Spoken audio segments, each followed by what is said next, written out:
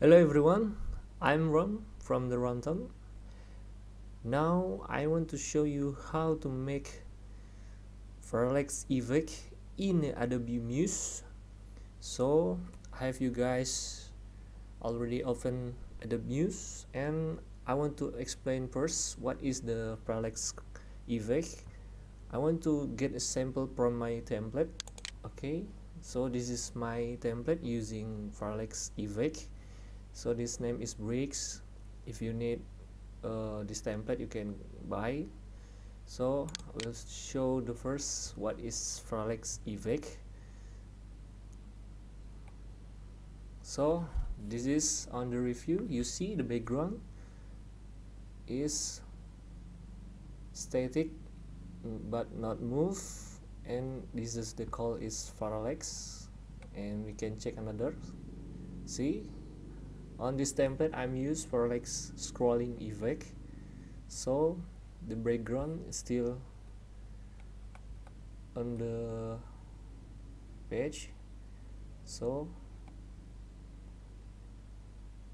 so this is the parallax scrolling effect okay we, we will make it and I will to show you how to make this effect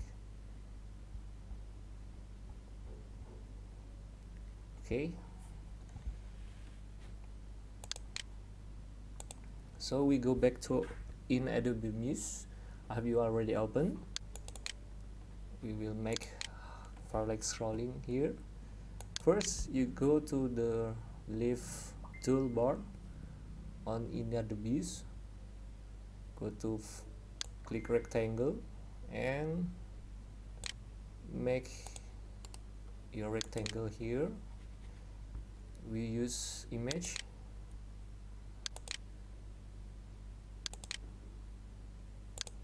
Um,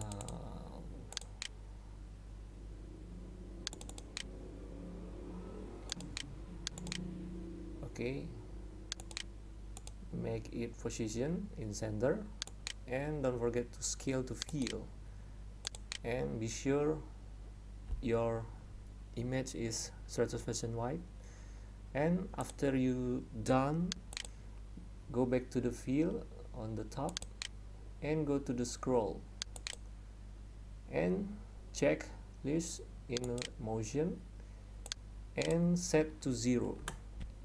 Final motion to on the zero. Okay. And we go back. You see we have some scrolling here. We show on the browser preview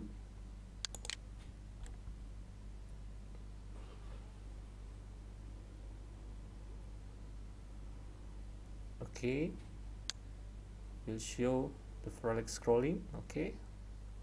So you see this is the parallax effect scrolling.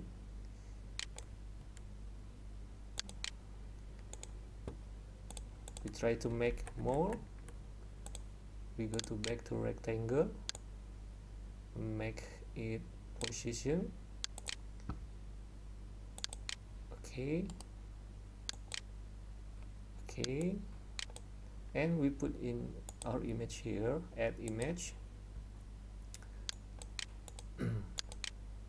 And then don't forget to scale to fill. Make each your screen always to responsive. Okay. So don't forget to go to scroll. Check this on motion and make it zero and zero and done. Okay so we copy more to make more parallax image. Okay we change the image and choose this one okay. So we have three image here with using parallax effect scrolling okay. We will show on the preview on browser.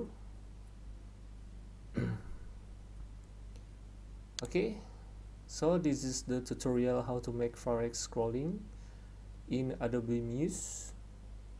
So I have you guys can make more and easy to follow on this tutorial. So thanks to watching my tutorial and don't forget to subscribe. And if you need some template for your project or your portfolio you can go to my website. Have over more 60 template you can use on my template ready okay? So thanks again